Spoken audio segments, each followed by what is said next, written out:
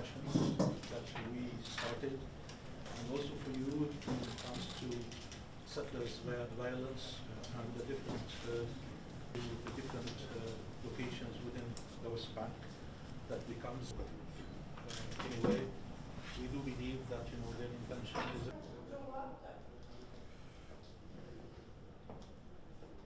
the possibility to talk to you and to have a conversation.